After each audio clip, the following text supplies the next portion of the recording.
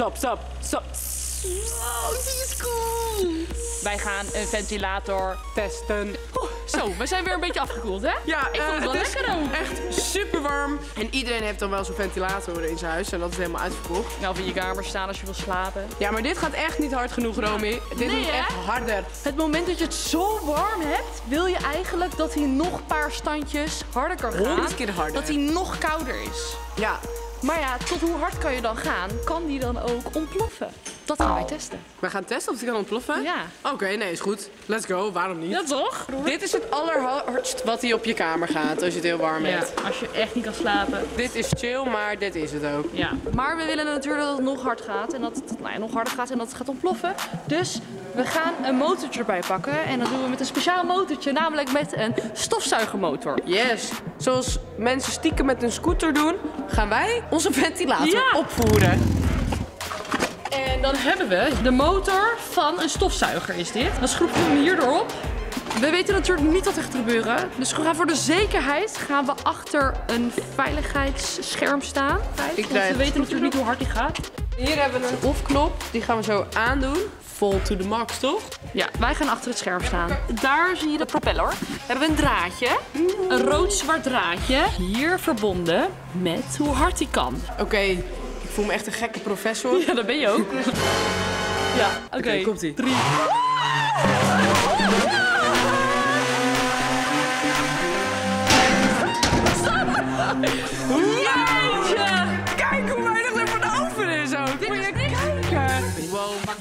Dit ging echt hard. Dit ging echt mega snel.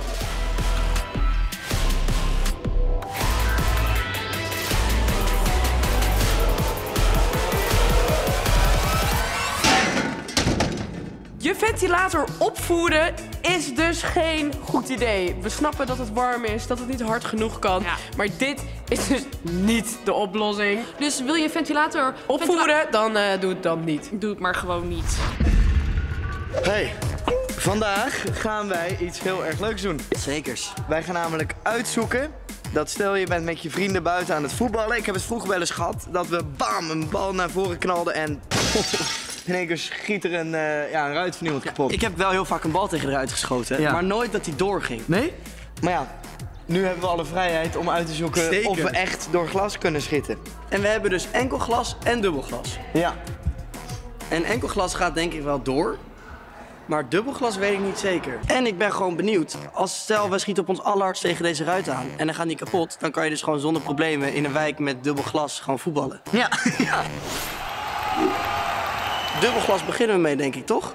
Wil je het één keer proberen tegen die kant?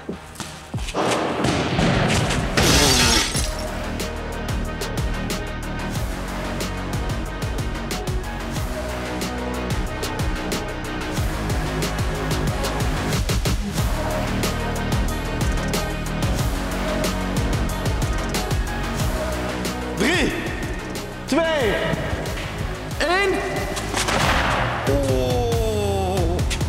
Die was wel hard, denk ik. Die was heel erg hard. Ik denk dat ik echt op het midden ga mikken, want mij is het daar het minst stabiel. 3, 2, rotglas. Glijdt bijna uit.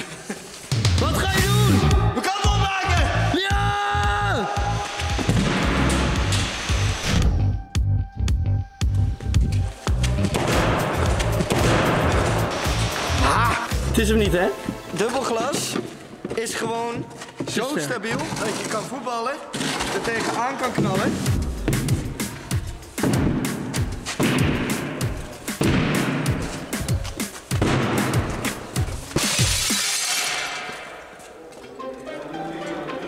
Je kunt er wel doorheen trappen.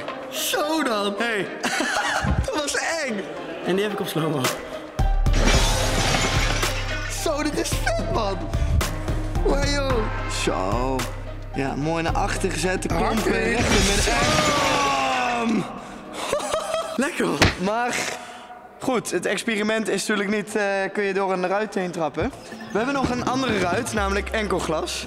Zou ik nog op een leuke manier er doorheen schieten? Ik kan proberen met een Rabona, zo achter mijn standbeen. Ja, als dat leuk is, is het natuurlijk wel hilarisch. Drie, twee, 1. Ja! Oh, het is hem! Oké, hoop dat het nu wel lukt. Oké, in 3, 2, 1. Zo dan!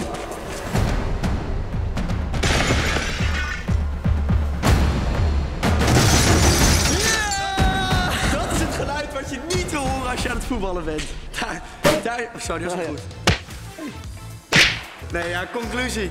Enkelglas, daar kom je dus makkelijk doorheen, zelfs met een technisch trucje. Ja, En dubbelglas, nee, eigenlijk niet. Maar je kan er wel doorheen trappen. ja, dus mocht je nou echt naar binnen moeten thuis, je denkt, ik heb mijn sleutel niet meer, ik ga met mijn voetbal er tegenaan en het lukt niet. Ja. Doe dan gewoon grote laarzen Gebruik dan aan. gewoon je schoenen aan. Bam, drie keer trappen.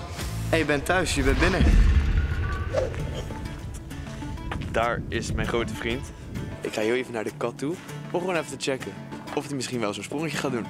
Hey, hoe kan ik het beste die sprong doen? Helaas. Want jij kent vast de gezegde wel. Zo flexibel als een kat. Of, nee, wacht. Zo lenig als ik kan Zo lenig als een kat. En hoe komt dat? Omdat ze gewoon soepel zijn. Ze rekken veel, denk ik. En een kat landt altijd op zijn pootjes. Ja. Laten we even zien wat een kat doet. Dat zie je nu.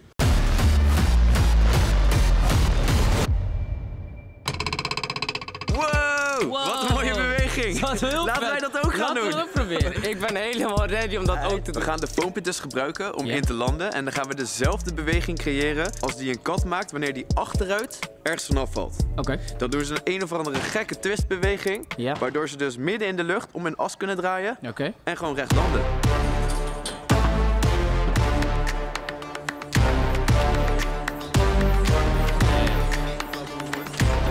Kat in het nauw.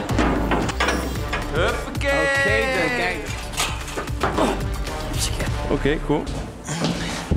Ja, doe even een goede kattenmovement. Eventjes, hoe loopt een kat? Ik had vroeger een kat.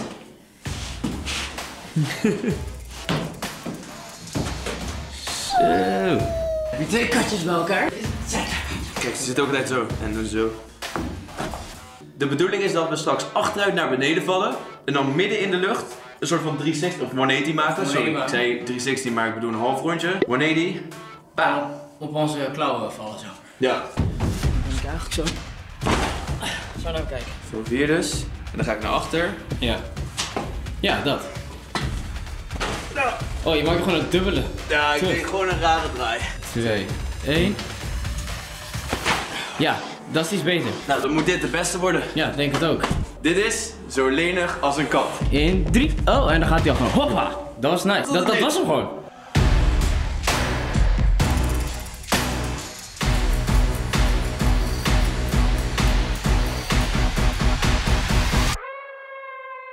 Het is nu dus de tijd aan kat Gino om te kijken of hij zo lenig is als een kat. Yes. Ja. Ja. Oh!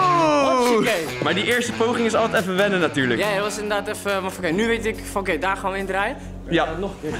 Let's go! Oh! Wacht even. Ik sta hier helemaal op een randje natuurlijk voor het beste shot. Oh! Eerlijk, dat was toch wel? Ja, die dat was weer? best goed. Oh! Eerlijk, dat was toch wel? Ja, Dat die was weer? best goed. Let's go, let's go. Let's go. Oké. Voel me ook wel een beetje een kat. Ja. Kat zijn gek. Oké jongens en meisjes, conclusie. Zijn wij zo lenig als een kat? Wij zijn absoluut zo lenig als een kat. Yes, yes, yes. Zelfde sprong kunnen maken. Ja man, you got this. Kijk, weet je wat het is? Ik denk dat een kat wel hoger kan vallen, maar puur omdat hij gewoon lichter is. Ja. Want als wij dit van hoogte zouden doen naar de grond, dan zou het niet goed zijn. Nee. Later! Mazzel.